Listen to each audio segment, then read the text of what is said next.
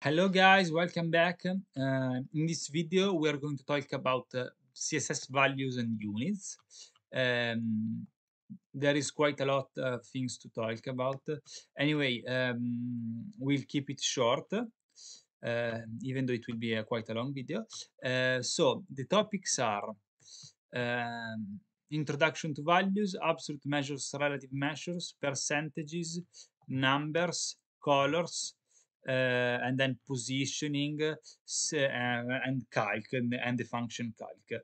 Um, anyway, um, first of all, uh, I want to say that uh, every every of our uh, CSS attributes has their own values.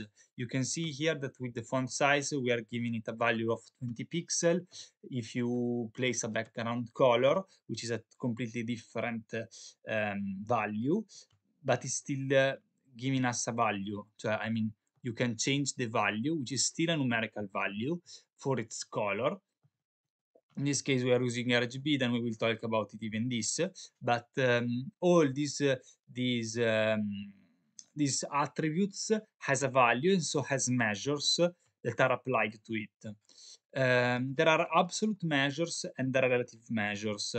Um, the guide here uh, gives us um, a big uh, table that uh, we we would follow. This is there are the relative. Let's start with the absolute measures.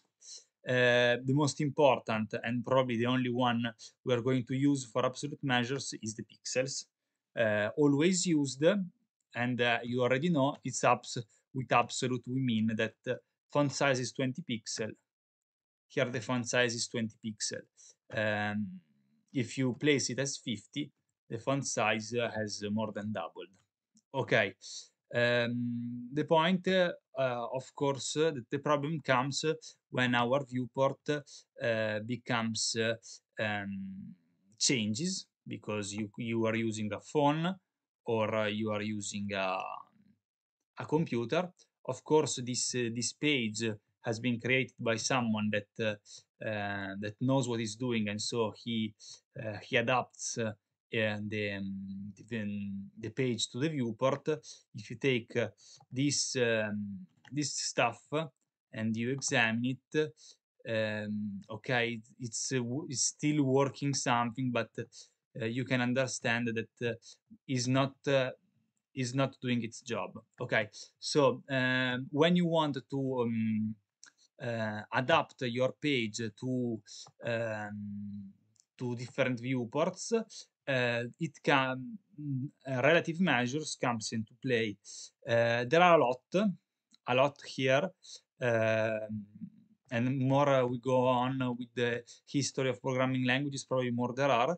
Anyway, the most important here, and the ones we are going to talk about, is EM, REM, uh, VW, and VH. Um, first, VW and VH, uh, we are not going to make an example because uh, as you can as you, as you can read, uh, VM, VW and VH are 1% of the viewport's width and height. So um, it's easy to understand what it does. If you place uh, um, a viewport width of 1% of 1, it takes 1% of the viewport width or height, and then it, it adapts to the viewport as um, as it's um, as it changes from one uh, from one uh, user to the other.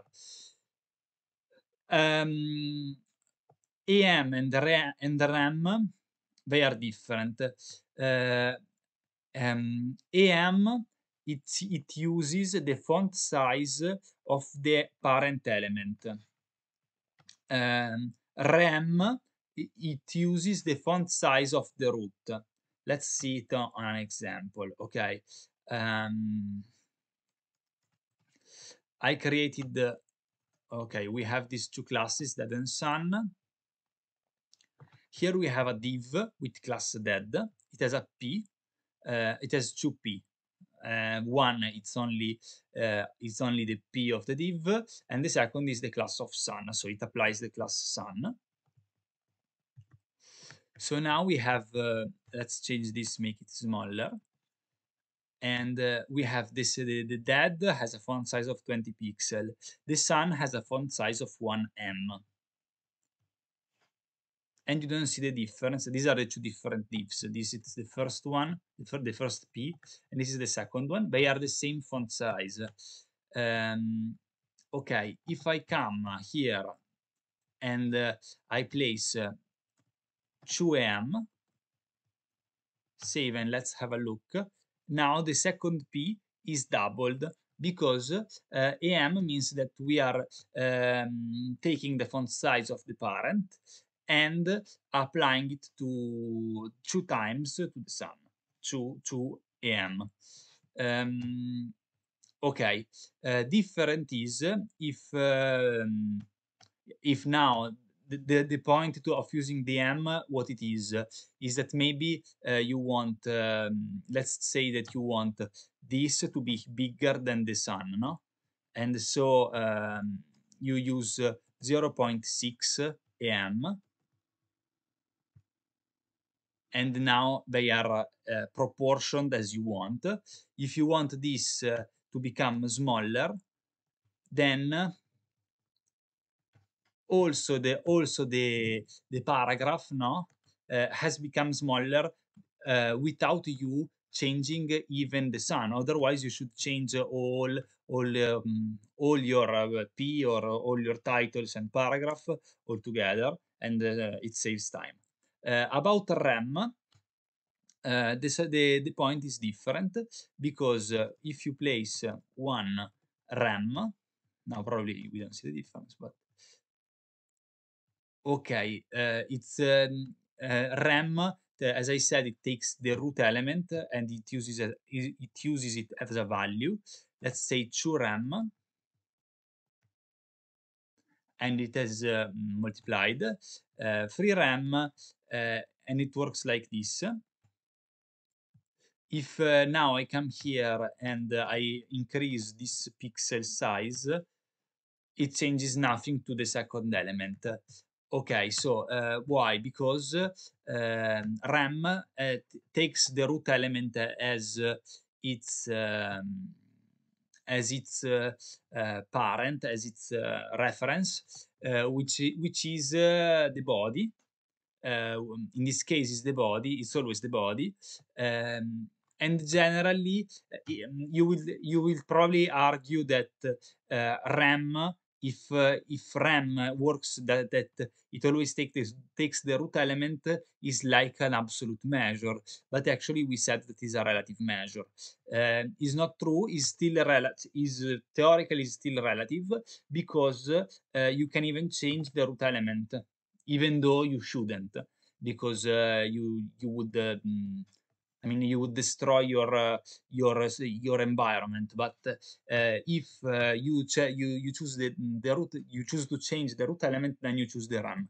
In this moment, one rem, I think, is 16 pixel because the root element by default, the font size of anything that you don't specify is 16 pixel.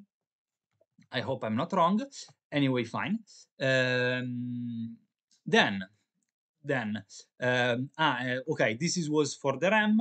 this and for the M. Uh, remember viewport width and viewport height for VH and via VW. And then, um, and then there are others, but you should uh, have a look at it, I think, if you want they are not really important maybe they, they don't really used but uh, at um, at times maybe you you should know it uh, percentages you can use percentages um, uh, let's find an example for percentages. But we have our div click here. Uh, our div uh, has a background color uh, of uh, of blue and it has a width of 50%. okay so now we have this we have uh, okay it's too blue but the point is that we are uh, we are using uh, the width of the of our div is 50 percent and if you change it the, if you change the viewport it remains 50 percent um, still uh, a good thing to, to to show if i apply let's apply to font to, to son we apply a width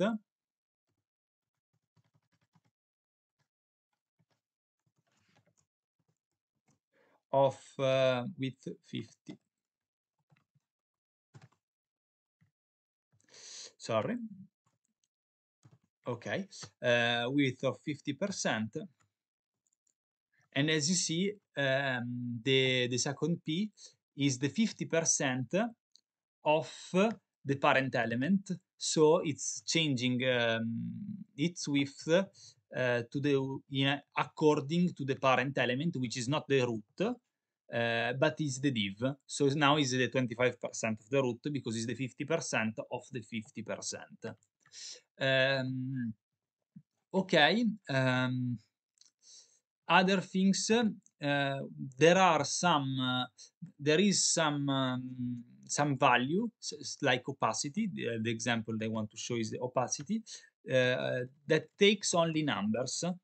It doesn't take any um, any um, measure unit for the number. You just uh, opacity works that uh, uh of course it it uh, defines the uh, the opacity value of of your color.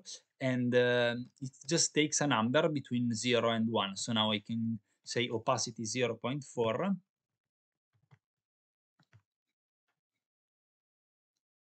and as you see it has become different. And um, okay if you say 0.1 you can even see what is written okay okay okay so fine now uh, let's dive into uh, colors okay so uh, first of all uh, colors there are three ways to define colors um, we already talked about it of course i think but um, so first is the hexadecimal code. Uh, it starts with the gate. Then you, you, you use 16 different values from 0 to 9 and from A to, Z, to F to the um, and you place six of uh, these different values like for example uh, randomly 3 F D 5 uh, C two okay? Um, and all these different uh, uh, these different um, values define uh, an RGB, red, green, or blue uh, value. Anyway, um, practically, you can see here that uh, we have, uh, then you can move it as you want. And if you look, if you look here, up here it's changing um, the the value of the hexadecimal code is changing uh, accordingly. Uh, if you go here uh, you can remember that the white is 6f and the black is 60 these are the two most common to remember then the rest of course it's impossible. Um, Okay, and here is it for the hexadecimal code. You can do the same with RGB, um, which uh, displays the same content, that's always color, but uh, is um, uh, organized differently. It has three values from 0 to 255 and um, of course red, green and blue. So the first one is the red, uh, the second is the green and the third is the blue and then if you come here you can uh, change uh, you can change the values. 0 255 255 and 255 uh, is white 000 is black. Okay um, RGBA uh, A stands for alpha channel um, and uh, uh, it's just a value that can be from 0 to 1 and um, now you can now you can even change the alpha channel which is the opacity saturation. Actually i don't even know exactly i think it's the opacity of the of the color. Um, and that's it. Um, anyway normally people just use this uh, this tool now so you don't you don't need to worry about too much to really understand how to display the different values uh, last one that is the less used probably, but uh, worth to be mentioned, is HSL. Um, HSL, which stands for with three values. Uh, this one, the hue, uh, which is the color, uh, which is comes from 0 to 360 you should imagine like the wheel of the colors then saturation and lightness uh, which are two percentages so, um, for example, let's take uh, 62, 42 as value. Then uh, we have a saturation of 40%, uh, saturation of 40%, uh, lightness of 60%. Okay, it comes uh, this, this color, okay? And then, as you see here, you can change uh, the some values. Um, uh, you can change the values exactly like RGB and RGBA and um, the hexadecimal. Same stands for uh, HSLA, uh, which um, adds just the alpha channel. Uh, so adds the alpha channel exactly with uh, like RGB. Like RGB, now to, to RGB. Um, no, in fact. Uh, anyway, it exists also HSLA. Okay, uh, that's it for uh, for colors. That's it for colors. More positioning. We have seen. We have seen already background position that can be top, bottom, left, right, and um, bottom, top, top, bottom, left, right, and can even be bottom, center, uh, or uh, bottom top center, bottom center. It can have uh, two values all altogether. Anyway, these things are pretty obvious. so then we have content, which I didn't mention, and um, uh, it uh, the content attribute is a value so we are talking about it uh, and we use it and we use it paired with before. Before is a create a pseudo element um, that um, a pseudo element that becomes the first child of the parent element. Uh, the guide gives a funny description that I like to mention because it says uh, before create a pseudo element that is the child of the selected element. Okay, it is often used to add cosmetic, and uh, is uh, three years that it says to add cosmetic content, and uh, and I like it. Okay, uh, so. Um, the, the most uh, easy way to, to understand uh, is this example you have we have this topic games which is probably a class no uh, p-class topic games and then on css you add before content and it has added this one. And then uh, on every topic games that you want it will add this uh, this joystick uh, image uh, and that's it. And that's it for content. Uh, you can see that they add the url they add some background image set okay. Um, and um, okay last last one on this uh, topic identifiers for color that is obvious that we can use of course these identifiers that uh, uh, they don't give us the same uh, precision as uh, RGB or uh, all, all the others but there are plenty and generally we don't need to use to use a, a, very specific color, but we can just pick one of those, one of these. Um, last function worth, worth mentioning is calc. Um, um, calc allows us to to make to perform cal calculation for values that are then used uh, for uh, in the inside the properties.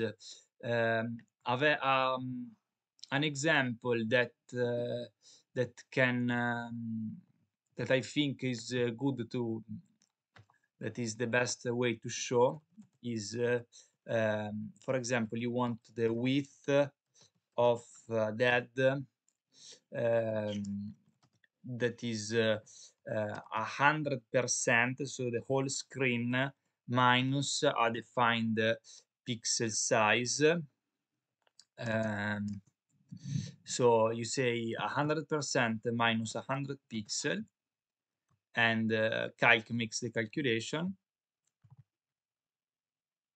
And uh, okay I spotted but I wanted to show it in the live server. And here is it is half uh, in, there is this uh, 100 pixel um, on the on the right. And uh, if uh, if you scroll it remains so in this way we created a measure that is half relative, half absolute. And uh, in, the in a practical sense, this is the case where you want to use calc. Uh, a thing that I want to say about calc, remember to use spaces, because if you write it like this, if you write it like this, the code crashes incredibly, incredibly. Never happens, but as you see now, it is not uh, is not using is not doing the calculation. So remember to put the spaces and then you can just uh, mix uh, the percentages, VH, VM, blah, blah, blah, pixel, centimeters, whatever you want uh, with the calc. Okay, so that's it for this lesson. That's it for this lesson. I hope uh, I hope you enjoyed and uh, you are following along. Uh, thank you very much for watching and see you in the next video.